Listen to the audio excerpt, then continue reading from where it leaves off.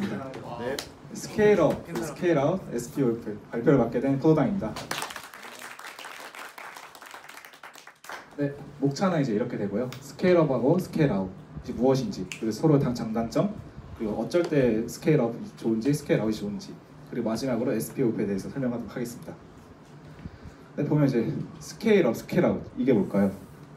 제가 생각하기에 이제 scale up은 이제 커 크게 증가 위로 위로 간다. 그리고 scale out은 넓게 퍼진다. 이렇게 생각했거든요. 그래서 제가 이제 찾아보니까 되게 용어 이제 의, 쉽더라고요 이야기에는. 그래서 제가 하나 스토리를 만들었는데 네, 이제 위기의 비모가 나옵니다. 네, 위기의 비모. 네, 여기에 비모가 있죠. 비모가 이제 위기를 맞았어요. 바로 이 자소서 때문에 오늘까지 자소서를 이제 마감해야 된답니다. 하지만 비모는 이제 이걸 오늘 알아가지고 자소서를 하나도 못 썼다는 거예요. 그래서 비모는 생각을 했죠. 이 자소서를 오늘 어떻게 끝낼까? 끝내야 될까? 그래가지고 첫 번째 생각한 게 이제 자기 이제 친구들을 불러서 돈으로 이제 이거 좀 해달라, 저거 좀 해달라 일일이 할당 할당 해주는 겁니다. 스케일하고. 그러니까 이렇게. 그러니까 두 번째 방법으로는 이제 엠모 성능이 좋은 이력서의 마스터 이렇게 일본 뒷바가지 이제 한 시간 안에 풀 수 있는 이제 이렇게 이런 방법을 돈으로 주가 이제 생각했습니다. 근데 보면은 위에는 이제 여러 대 서버를 좀 두는 이게 서버 하나 한 대의 서버로 생각하면 되는데 이렇게 이제 분산 처리를 해서 하는 게 이제 스케일 아웃이라는 거고 아니면 이제 성능 자체를 향상시키는 게 이걸 스케일 업이라고 하는 겁니다. 네, 그래서 다음으로 보면 이제 scale up은 서버 그 자체를 증강시켜 이제 processing 처리 능력을 이제 향상시키는 걸 말합니다.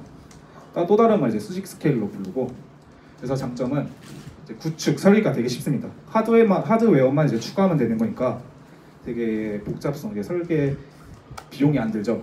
그리고 스토리, 어, storage controller나 이제 네트워크 인프라 비용은 별도로 발생하지 않습니다. 하지만 단점이 있죠. storage controller 확장성의 한계 그리고 용량 성능 확장의 제한 또 비싼 트래픽 부하로 인한 장애 영향도가 증가하게 됩니다. 대표적 예로 저희가 이 CPU i3, i5, i7을 예로 들 텐데 i3에서 i5로 가는 이제 경우 성능 이제 향상 비율이 1.5배 1.5배 되는데 i5에서 i7 가는 경우 1.3배, 2, 3배 정도밖에 된다고 하지 않습니다. 그러니까 별로 두 배에 비례하지 않다는 거죠. 근데 i3에서 i5 가는 경우에는 가격이 6만 원 정도 그러니까 되게 낮게 가는데 i5에서 i7 가는 경우 한 20만 원 차이 나니까 그만큼 더 비싸지게 되는 거죠. 네, 주요 기술은 이제 이렇게 돼 있고 고성능 CPU 메모리 확장 SSD가 있습니다. 다음은 이제 scale out을 볼 텐데 말 그대로 이제 아까 서버의 대수를 증가시켜 처리 능력을 향상시킵니다. 수평 스케일이라고 이제 불리기도 하고요. 장점은 지속적인 확장성이 가능합니다. 어, 하지만 저 확장성이 무한대로 확장하지 않는다고 해요. 왜냐하면 이게 밑에 단점에서 나올 텐데 복잡성 때문에 그렇다고 합니다. 분산 처리 시스템 갖고 있어서 장애 가능성은 매우 낮고요. 아까 저 스케일업보다는 또 스케일업보다 저렴합니다. 이제 말했듯이 이제 설계 구현의 복잡성 그에 따른 이제 추가적인 만약에 설계가 이제 한계에 다다랐을 경우에 아, 그 관리 비용이 이제 증가하게 되고 그거에 따른 그 기본적인 직렬화가 존재하게 됩니다. 그리고 이제 병렬성이라든지 아니면 이제 대역폭 등 기술적인 문제가 있고요. 그 코어 개수가 증가함에 따라 대역폭이 증가하기 때문에 그 성능이 막 비례하지 않는다고 합니다. 그말 효가 발표했을 때 그것처럼 네. 그리고 주요 기술은 sharding, 인모, in-memory cache, NoSQL 이렇게 등 있고 큐도가 있고 막 그럽니다. 보면은 이제 어쩔 때 쓰면 좋으냐 scale up 같은 경우 정합성 유지가 어려운 경우 OLTP 그러니까 이 말이 데이터베이스에서 그러니까 데이터베이스뿐만 아니라 데이터가 갱신이 될때 갱신, 갱신 을 요구하는 경우. 그럴 때 사용하는 게 좋고 그래서 데이터베이스 서버에서 많이 사용한다고 합니다 scale up 자체를. scale out은 높은 병렬성을 실현하기 쉬운 시, 실현하기 쉬운 경우 그러니까 병렬적으로 처리가 가능한 경우 그리고 정합성 유지가 쉬운 경우. 예를 들어 이제 메일 게시판 서버, 데이터 읽기 전용 어플리케이션이나 웹 서버 등 이걸 이제 예를 들 수 있습니다. 보면은 이제 지표인데 scale up 같은 경우에는 이제 가격이 뛰면 뛸수록 성능이 낮아지게 돼요. 점점. 보면 비싸짝 성능이 그 높아지지 않는다.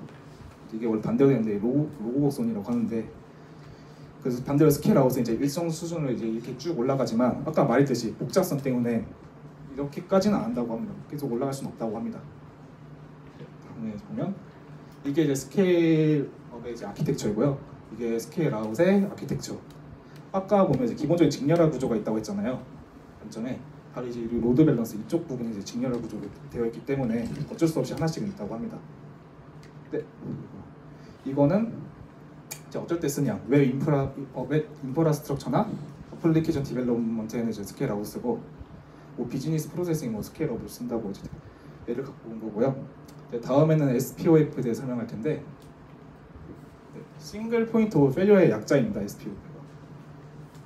그리고 단, 단일 장애점이라고 부르고요. 고장점, 고장점, 실패점이라고 부르기도 합니다. 이 말은 이제 전체 시스템 구성 요소 중에 어느 특정 한 부분의 요소가 에러가 나면 그 전체 시스템이 중단된다는 것을 말하는 겁니다. 예를 들면 이 라우터 같은 경우 얘가 고장 나면 전체 통신을 할 수가 없죠. 이게 이제 SPOF 지점입니다. 그래서 하드웨어적으로 보면은 허브나 케이스, 스위치 같은 경우 그런 쪽 그런 쪽에 이제 SPOF를 많이 부르고요. 소프트웨어 관점으로 봐서 또 몇 개 있긴 합니다. 그러면은 예방하는 방법은 복잡한 시스템인지 판별, 아니 단일 장애점 파악, 아, 타- 판별하고 단일 장애점 파악 및 제거를 해야 된다. 그 높은 신뢰성의 애플리케이션이나 시스템을 가진 경우에는 단일 component를 사용하면 그러니까 단일 component를 의존적으로 사용하면 안 된다고 해요. 별로 좋지 않다고 합니다. 그래서 방법은 복잡도를 낮추거나 복제, 다양성, 문서화 이렇게 네 가지 방법이 있고 어, 저희 소프트웨어 관점을 제가 한번 해봤는데요. 웹 브라우저에서 웹 서버로 요청이 갔을 경우에 그 load balance 되는 부분에서 SPOF가 발생한다고 합니다. 발생하죠. 얘가 하나에서 이제 여러 개 분산 처리 해줘야 되니까 그쪽에서 하야 되는데 그래서 N대 웹 서버나 아니면 하드 어, L4, L4 스위치나 L7 스위치를 둔다고 합니다. 그렇기 때문에 그리고 웹 서버에서 WAS로 갔을 때 요청이 이쪽 부분은 거의 대부분 오류가 개발자 개발자의 코드로 인한 문제점을 발생한다고 합니다. 그래서 N대 WAS를 그 똑같이 웹 서버처럼 이렇게 구축하면 되는 거고 다음에 데이터베이스 관점을 봤을 때 용량 부족으로 인한 장애 발생이 가장 많이 난다고 합니다. 보통 이제 해결 방안은 RAID나 NAS 등 이런 방법이 있다고 하는데 아마 찾아보시면 될 것 같습니다. 그래서 보면은 이게 단순하게 했을 때 이제 SPOF가 남은 지점이에요. 되게 많죠. 다 단위로 처리했으니까 하나로. 그래서 좀- 그 다음 방법은 복제를 하는 겁니다. 이 component 자체를 하나 두 개, 그래도 하나 두 개. 되게 세 개로 줄어들었죠.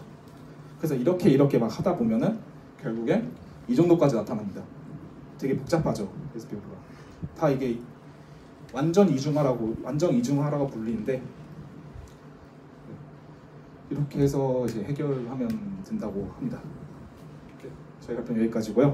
네. 궁금한 거 있으시면 물어보겠습니다.